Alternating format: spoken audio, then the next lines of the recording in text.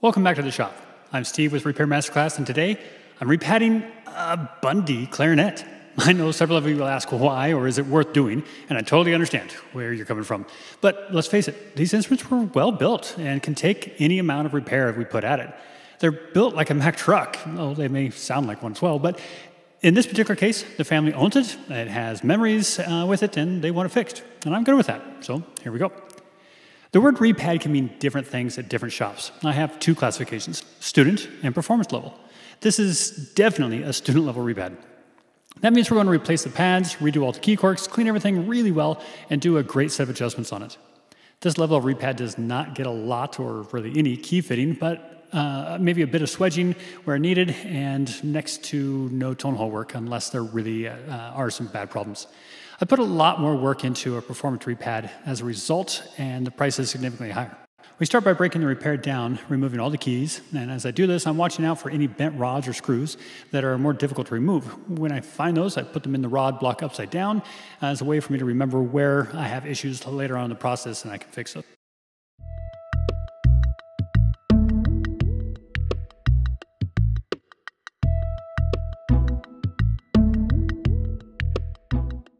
Next is taking the pads out. This one had mostly original pads still, and those were installed with an amber shellac. I'm using the acetylene torch to warm up the glue to release the pads, but in several cases, the shellac was so old that the pads just popped out when I touched them. Okay, and this is the real reason the instrument needs work. Most of the pads have been eaten by bugs. It sounds more gross than it actually is. Have you ever found a weevil in your grain or cereal? It's sort of like that. When an instrument's put into storage, especially under your bed, these bugs that typically live in the carpet of most of your homes, happily eating the foam backing from off your carpet, smell the felt of these pads and move right in. The bug is really easy to kill, but their eggs, well, those are a fascinating study in survivability. Unless we chemically neutralize them, the bugs could hatch over a decade later. So we need to chemically clean everything to remove the eggs, hence the repad, of course. Not to mention, there's very little pad even left after these bugs' little feast. Notice how the felt and the skin are gone from this pad and only the cardboard backing is left? That's because the bugs have eaten everything away. Look at the hole drilled into this pad by the bugs. They don't want the skin, they want the felt under the pad, so they just drill a hole right through it.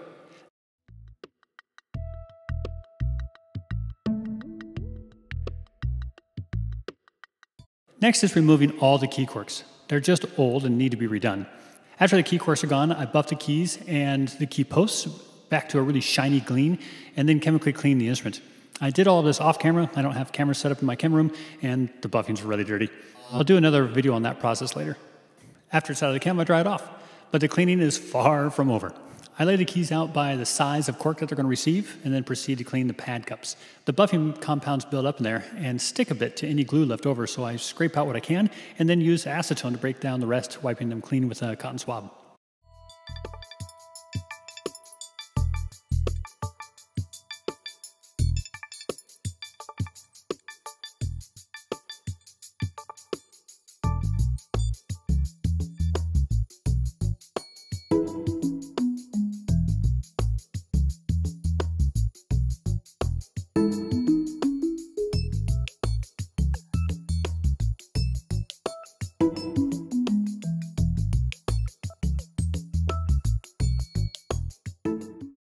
I'll apply the key corks next using contact cement. I apply this to the key and the cork material, and after they have set up a bit, when I touch them together, they'll be there for years. Notice how I wipe each key clean after applying glue? There's no room to be sloppy here when a little more care can really make a difference in your work.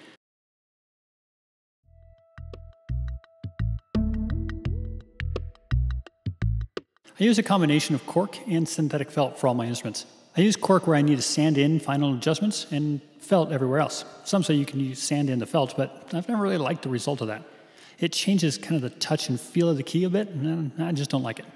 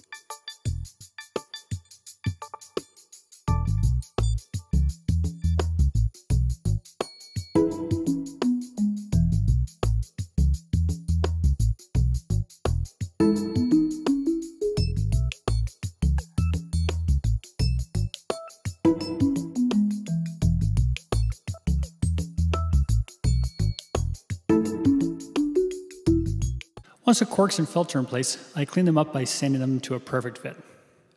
And then, more cleaning. This time, the hinge rod tubes and screw socket ends of each key. They're full of old dirt and buffing compounds from polishing them, some acetone and a bristled pipe cleaner, and they get really clean really fast.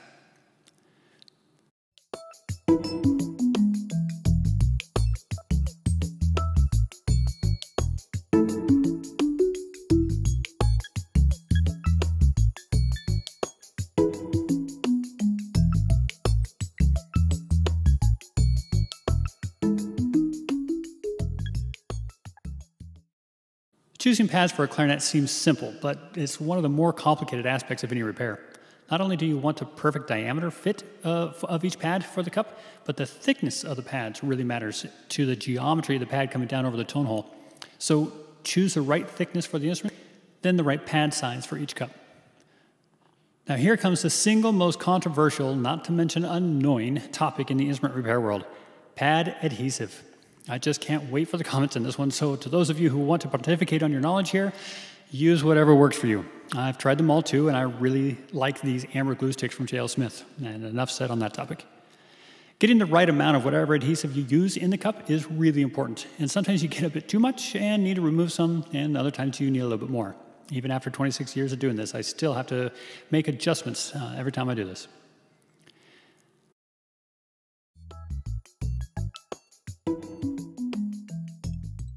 Now that all the pads are in, key corks are on, and everything is clean, it's time to make this instrument play. I sort my keys by body section and start putting them on. Oh, wait, I'm not done cleaning. I, I forgot to clean the posts. Buffing compounds and years of hand gunk are still stuck in there even after the chem bath. So more pipe cleaner uh, and needle spring work, and then I'll put it together. As I install each key, I check it for balance around the tone hole using the feeler gauge. A feeler gauge is a very thin piece of mylar that helps me feel for even balance and pressure around the tone, around the entire edge of each pad.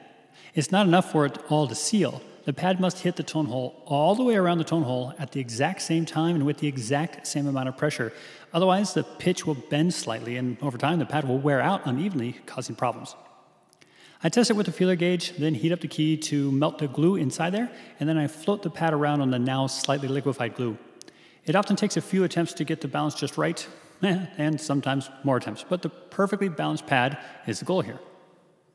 This is also the stage during which I do the needed key fitting for this level of repad. Sometimes keys bend and need to be moved back, other times the, keys, the key is too long or too short to fit in between the posts correctly and needs to be adjusted or modified. Up to this point, nothing has really been overly technical, but key fitting and pad balancing is where the right tools and training come in. Speaking of which, if you'd like to learn how to do this type of repair yourself, you can. Check out repairmasterclass.com. I teach teachers how to repair and maintain their instruments and that of their students so every student can get on stage and perform with confidence. I offer three ways to learn. First is my emergency repair guide. Think Google for instrument repair. Right now, the guide is free, so get yours before that deal goes away. The second way is group sessions offered every third Friday of the month. For one hour, I address a single repair topic and give you the step by step process so you know you're doing it right. This is a great value, and I encourage you to get your entire district to join you for the next group session. Check out the schedule at repairmasterclass.com. The third way is my online class. Sessions open up a few times a year, so check the schedule and find the time that works for you. This is the course where we take a deep dive into instrument repair. We talk about key geometry, diagnostics, needed tooling, and then we go over in high quality video with multi camera close ups so you know exactly what to do, when, and how to fix those problems. They're just frankly keeping students from learning during your class time. Every now and then, I'll notice a key felt or cork that didn't adhere as well as I would want it to, so no big deal, just correct it and move on.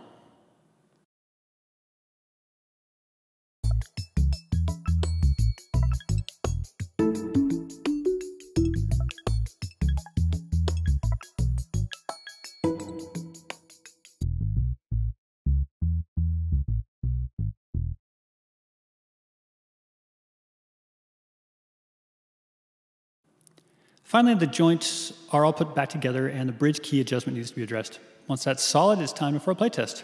And since I'm just a tech and not a player, I'll spare you the opportunity to hear me play.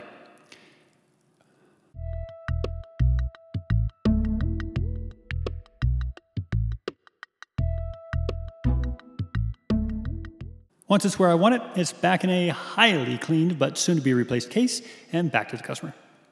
That's all for this one. I hope to see you back in the shop with me again soon.